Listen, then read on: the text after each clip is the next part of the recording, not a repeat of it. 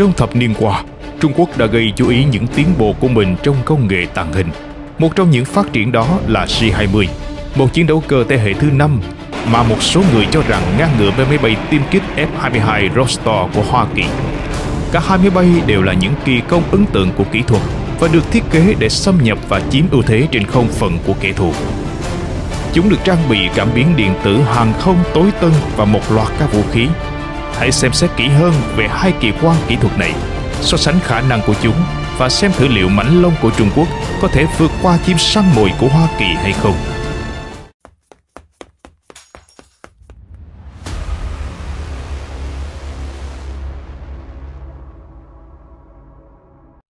Máy bay chiến đấu C-20 của Trung Quốc cho tập đoàn Zhengzhou Aerospace phát triển và bắt đầu thử nghiệm từ năm 2011 trước khi đưa vào hoạt động từ tháng 3 năm 2017.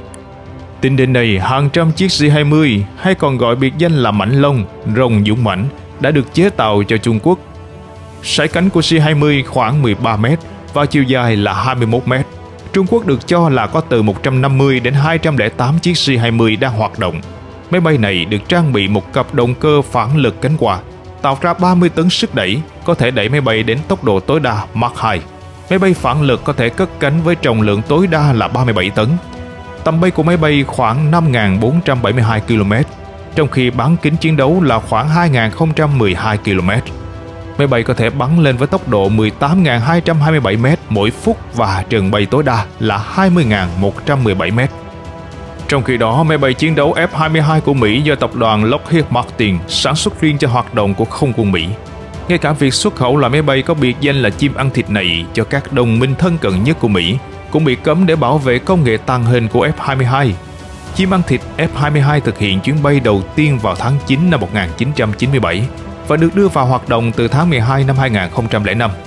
Tới năm 2011, việc chế tạo máy bay này tạm dừng do chi phí cao vào thời điểm đó cũng chưa có máy bay nào có thể thách thức sự thống trị của F-22. Song người Mỹ đang có kế hoạch nâng cấp F-22 trong tương lai. Hiện tại F-22 Raptor có sải cánh là 14m và chiều dài là 19m. Cho đến nay đã có 195 chiếc Raptor được chế tạo cho lực lượng không quân Hoa Kỳ. Máy bay được trang bị hai động cơ phản lực cánh quạt, tạo ra 32 tấn lực đẩy.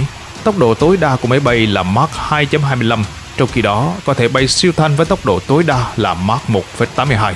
Máy bay có khả năng cất cánh với trọng lượng tối đa là 38 tấn, phạm vi bay là 3.218 km, trong khi bán kính chiến đấu là khoảng 1.094 km. Raptor có thể bay với tốc độ là 18.898 m mỗi phút và có thể hoạt động ở độ cao tối đa là 19.812. Trong một trận chiến đấu, khả năng tăng tốc và tốc độ bay lên là những yếu tố quyết định khi đánh giá hiệu suất thô của máy bay. Vì thế, về mặt này, Raptor vượt trội hơn C-20. Raptor nhanh hơn và có thể bay siêu thanh, tốc độ tương đối của nó có thể tăng tốc theo chiều thẳng đứng nhanh hơn C-20. Tuy nhiên, mảnh lông C-20 của Trung Quốc có tầm hoạt động và bán kính chiến đấu lớn hơn do nó có dung tích nhiên liệu và khung thân lớn hơn. Ngoài ra, khả năng cơ động là một yếu tố quan trọng trong các trận chiến ở khoảng cách gần. Phiên bản mới nhất của C-20 được trang bị động cơ WS-10 được sản xuất trong nước, có vòi full vector lực đẩy 3D. Những động cơ này tăng cường khả năng cơ động của máy bay một cách đáng kể C-20 được trang bị các cánh mũi để tính linh hoạt tốt hơn ở các góc tấn công cao, hoặc khi dừng lại. Trong khi Raptor được trang bị vòi phun động cơ Vector lực đẩy 2D và chỉ có thể di chuyển theo hai chiều. Cả hai máy bay đều có tỷ lệ lực đẩy trên trọng lượng lớn hơn một. Điều này có thể là yếu tố quyết định trong một trận chiến đấu. Để C-20 có thể chiến đấu hiệu quả với F-22 Raptor, các động cơ được sản xuất trong nước phải hoạt động đúng như tuyên bố của nhà sản xuất. Nếu điều đó xảy ra, thì C-20 được cho là lợi thế về khả năng cơ động. Tuy nhiên, động cơ lại được cho là điểm yếu nhất của C-20. Trung Quốc vẫn chưa thực hiện được kế hoạch phát triển các động cơ phản lực cánh quạt đẩy hiện đại của riêng nước này. Do vậy, các nhà sản xuất phải trông cậy vào các động cơ yếu hơn như WS-10B của Trung Quốc hay AL-31FM2 trên 3 của Nga. Điều này đã ảnh hưởng tới khả năng cơ động và năng lực tàng hình của C-20 khi bay ở tốc độ siêu thanh. Tuy vậy, động cơ WS-15 dự kiến được đưa vào sử dụng trong năm tới có thể giải quyết được những vấn đề này của máy bay Trung Quốc. Thiết kế của C-20 tập trung vào khả năng tàng hình phía trước, trong khi ống xả động cơ làm tăng diện tích phản xạ radar của máy bay. Do đó, F-22 có thể dễ dàng phát hiện C-20 từ phía đuôi máy bay. Ngoài ra, dấu hiệu hồng ngoại của C-20 cũng tương đối cao. Cánh mũi của C-20 cũng làm tăng tiết diện phản xạ radar của máy bay này. Một số nhà phân tích quốc phòng tin rằng diện tích phản xạ radar của máy bay này không thể tốt hơn các máy bay F-22. Tuy nhiên, phần mở rộng mép trước và các đầu vào DSI, cửa hút gió siêu thanh không bộ chuyển hướng của C-20 đã làm tối đa hóa khả năng tàng hình, đồng thời bên ngoài của máy bay được phủ bởi vật liệu kháng radar.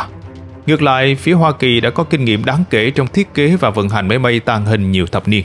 Thiết kế của F-22 tối đa hóa khả năng tránh các cảm biến nhờ các cánh hình thoi và bề mặt phẳng sắc cạnh.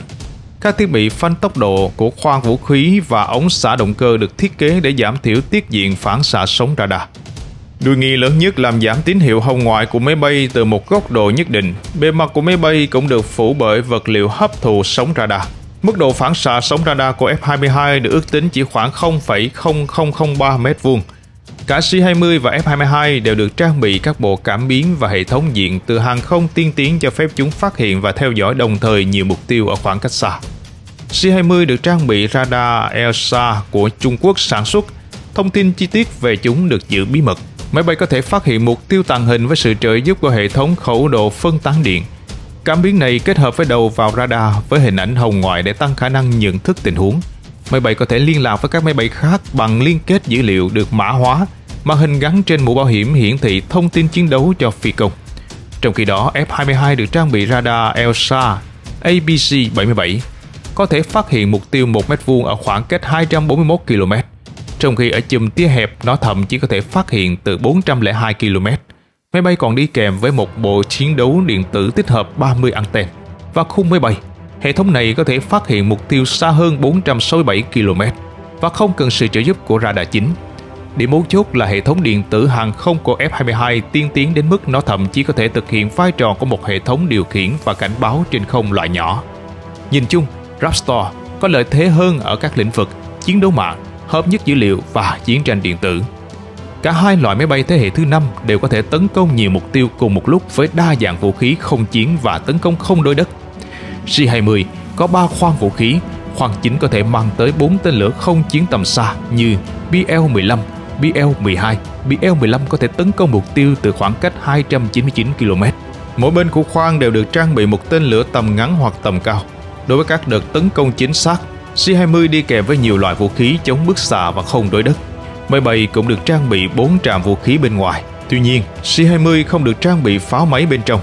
Người Trung Quốc hiện đang thử nghiệm trang bị cho mảnh lông của họ vũ khí laser và tên lửa siêu thanh. Tương tự như vậy, F-22 Raptor cũng có khoang vũ khí. Khoang chính được trang bị 6 tên lửa tầm xa, trong khi khoang bên có thể chứa tên lửa không chiến tầm ngắn. Tên lửa chính của Raptor là M120 và M9 Sidewinder, với kế hoạch tích hợp M260 với tầm bắn lên đến 200 km. Khoang giữa cũng có thể mang tên lửa dẫn đường bằng vệ tinh CDAM Raptor còn có một khẩu súng Gatling 20mm trên cánh trái. Tên lửa PL-15 trên C-20 có tầm bắn xa hơn và có thể giao tranh với F-22 trước tầm vũ khí của Raptor. Dù BL-15 có thể đánh trúng các mục tiêu lớn hơn, nhưng hiệu quả của nó đối với các mục tiêu có khả năng cơ động cao như F-22 vẫn còn là một dấu chấm hỏi.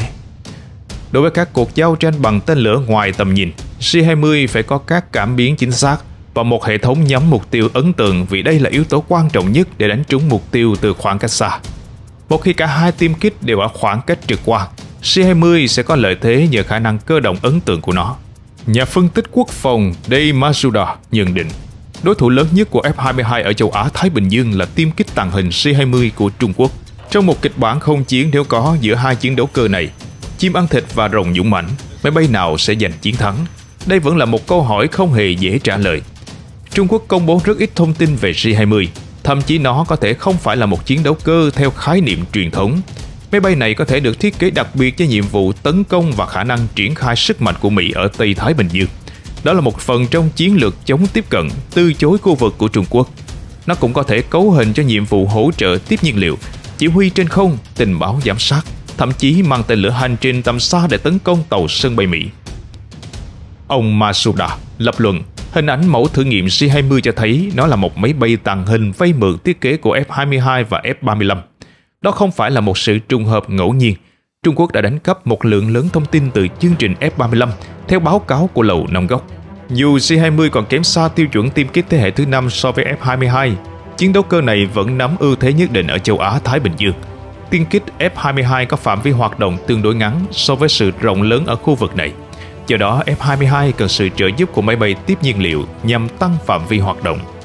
Giải pháp hợp lý nhất đối với không quân Trung Quốc trong việc chống lại ưu thế trên không của Mỹ và đồng minh tấn công gián tiếp và lực lượng hậu cần. Bắc Kinh hiểu rằng C-20 dường như có ít cơ hội khi đối đầu với F-22, nên tấn công vào các căn cứ là cách để thiết lập ưu thế trên không của họ. Trong thời đại này, tích hợp vũ khí, tầm cảm biến, chiến đấu điện tử và khả năng nhắm mục tiêu chính xác có lẽ là những yếu tố quan trọng nhất để chiếm ưu thế trong một cuộc không chiến. Trong khi Raptor đã được sản xuất hơn 2 thập niên và có nhiều kinh nghiệm chiến đấu đáng kể, Trung Quốc chỉ mới triển khai C-20 vào năm 2017. Mặc dù được phát minh muộn hơn, C-20 vẫn là một đối thủ đáng gờm của F-22. Tuy nhiên, về tổng thể, Raptor vẫn có lợi thế hơn mảnh lông này ở nhiều mặt. Tuy nhiên, mọi chuyện còn sẽ phụ thuộc vào các chi tiết cụ thể khác của trận chiến. Chương trình hôm nay của chúng ta đến đây xin tạm dừng. Quý vị hãy để lại bình luận và quan điểm cá nhân ở phần dưới. Rất hân hạnh được phục vụ quý vị. Nếu yêu thích video, quý vị hãy đăng ký kênh để liên tục cập nhật những thông tin mới. Xin chào và hẹn gặp lại.